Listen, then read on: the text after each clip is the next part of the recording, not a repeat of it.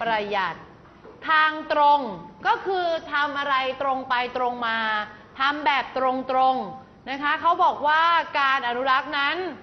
มีด้วยกันอยู่สองวิธีหลักๆ ก็คือวิธีแรกการอนุรักษ์ทรัพยากรธรรมชาติทางตรง ก็แนะนำวิธีการอนุรักษ์ทางตรง วิธีที่1 1.1การใช้อย่างประหยัดก็คือใช้เท่าที่ จำเป็นนะคะเราเรียกว่าใช้อย่างประหยัด ใช้เท่าที่จำเป็นนะคะ1.2 การนำกลับมาใช้ซ้ำอีก หรือที่เราเรียกกันว่ารีไซเคิลนะคะตอนนี้การทิ้งขยะของโรงเรียนเราเป็นการแยกขยะทิ้ง โดยแบ่งขยะออกเป็น 3 ประเภท 1. ขยะปนเปื้อน คือทุกอย่างที่ปนเปื้อนแล้วไม่ว่าจะเป็นถุงใส่ขนม ซองขนม ปนเปื้อนแล้วไม่สามารถนำกลับมาใช้ได้อีก เราจะทิ้งลงในถังขยะปนเปื้อน 2. ขวดพลาสติก เราก็จะทิ้งเฉพาะขวดพลาสติกเท่านั้นใช่ไหมคะ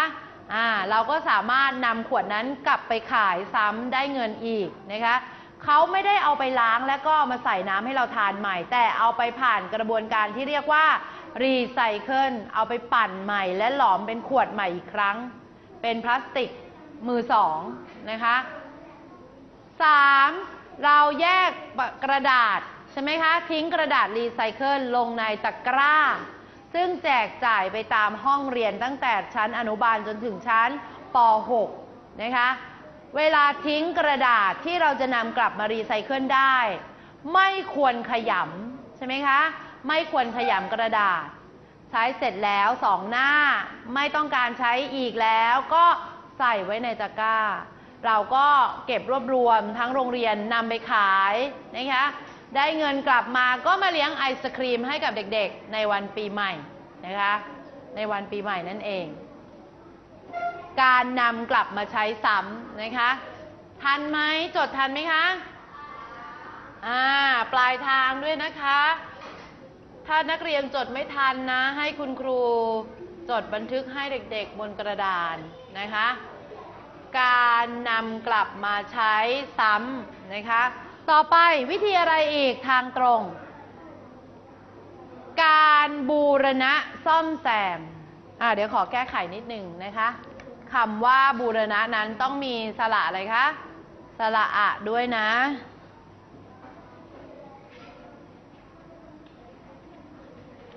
ใช้ว่าการซ่อมแซมดีกว่า ต้องขออภัยนะคะ ขออภัย อ่า การซ่อมแซม บูรณะนั้นเราไปนึกถึงสิ่งที่เป็นสิ่งก่อสร้างนะคะ ซ่อมแซม ซ่อมแซมอะไรอย่างเช่น สิ่งของที่ใช้เป็นเวลานานอาจเกิดชำรุด เพราะฉะนั้นถ้ามีการบูรณะซ่อมแซมทำให้สามารถยืดอายุการใช้งานต่อไปได้อีกอย่างเช่น นักเรียนเรียนวิชากอทอแล้ว กระดุมเสื้อหลุดเม็ดหนึ่งนักเรียนทิ้งเสื้อเลยหรือเปล่าคะ ไม่ได้ทิ้งนะ เอากระดุมก็กลับมาซ่อมแซมกางเกงตูดขาด นักเรียนก็เอามาซ่อมแซมโดยวิธีการชุน การปะนะคะทำรังพึ่งนะอะไรอีกจักรยานยางรั่ว ทิ้งเลยหรือเปล่าคะถีบแล้วยางรั่วทิ้งจักรยานเลย อะไม่เอายางที่รั่วไปปะใช่ไหมคะอ่าเป็นการซ่อมแซมนะคะ การซ่อมแซมสิ่งของนะคะอ่าให้มันยังคงมีสภาพที่ใช้อยู่ได้ เป็นการอนุรักษ์ทางตรง ไม่ใช่เป็นอะไรนิดอะไรหน่อยเป็นไงละทิ้งแล้วนะทิ้งแล้ว ต่อไปข้อที่ 4 การบำบัดและการฟื้นฟู 1.4 การบำบัด และการฟื้นฟู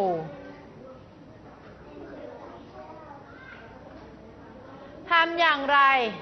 การบำบัดและการฟื้นฟูเป็นวิธีการที่จะช่วยลดความเสื่อมโทรมของทรัพยากร ด้วยการบำบัดก่อน เช่น การบำบัดน้ำเสียจากบ้านเรือน หรือโรงงานก่อนจะปล่อยทิ้งลงในแหล่งน้ำนะคะ เทศบาลหัวหินของเราได้แจกถังดักไขมันให้กับบ้านเรือนทุกครัวเรือนในเทศบาลหัวหิน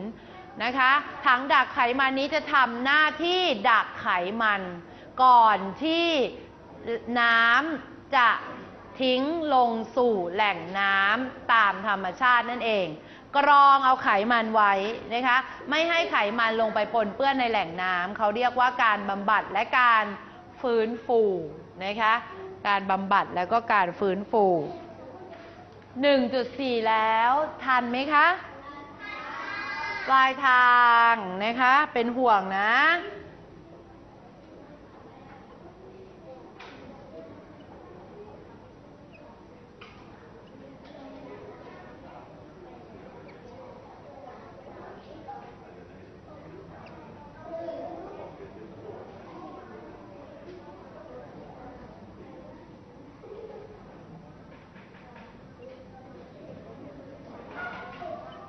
อ่า นะคะ อะไรอีกนะคะ1.5 การใช้สิ่งอื่นทดแทน สิ่งอื่นทดแทนเป็นวิธีช่วยให้มีการใช้ทรัพยากรธรรมชาติน้อยลง อย่างเช่น นักเรียนต้องการใช้โต๊ะใช้เก้าอี้ที่ทำจากไม้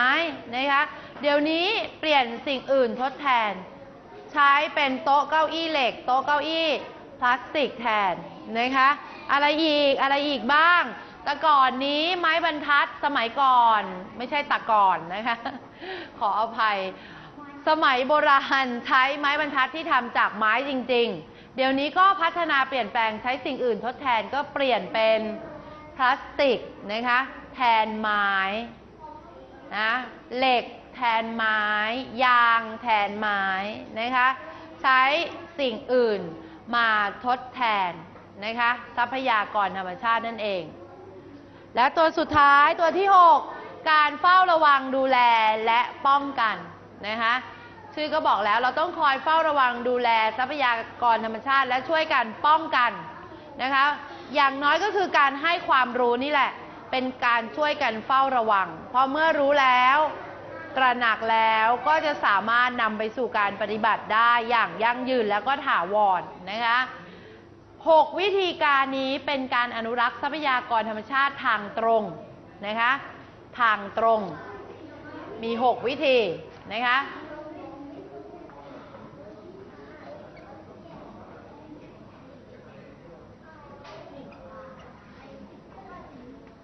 เดี๋ยวเรารอปลายทางด้วยนะคะ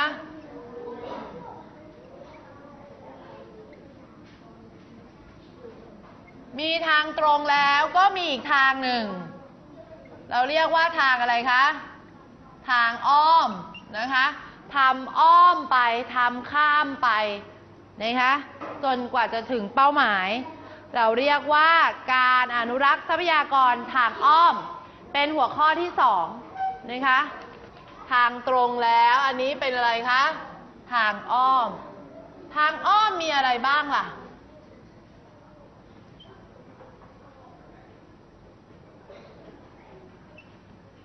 ทำอ้อมไปถึงจะประสบผลสำเร็จในการอนุรักษ์ มีด้วยกันอยู่ทั้งหมด 5 วิธีนะคะ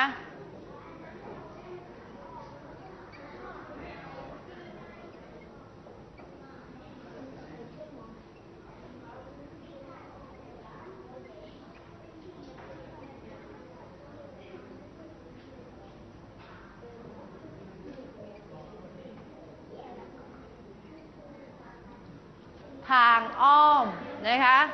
ข้อที่หนึ่งการอนุรักษ์ทรัพยากรทางทางอ้อมข้อที่หนึ่งก็คือ 2.1 การพัฒนาคุณภาพประชาชน เขาบอกว่าสนับสนุนการศึกษาเห็นไหมคะ ด้านการอนุรักษ์ทรัพยากรธรรมชาติที่ถูกต้องตามหลักวิชานี่ไงคะ คุณครูแนนก็กำลังพัฒนาคุณภาพประชาชนทางอ้อม เกี่ยวกับเรื่องการอนุรักษ์ทรัพยากรธรรมชาติ โดยการให้การศึกษาวิธีการที่ถูกต้องนะคะแต่การศึกษาที่ถูกต้องจะไม่เกิดผลไม่บังเกิดผลเลย ถ้านักเรียนไม่นำกลับไปปฏิบัตินะคะเมื่อศึกษาเรียนรู้แล้ว จะต้องนำกลับไปปฏิบัติ แล้วก็ปรับใช้ให้เข้ากับชีวิตประจำวันนะคะของตนเอง จึงจะบังเกิดผลนะคะที่ดี การพัฒนาคุณภาพของประชาชนก็คือการให้ความรู้นั่นเอง ให้การศึกษาให้ความรู้นะ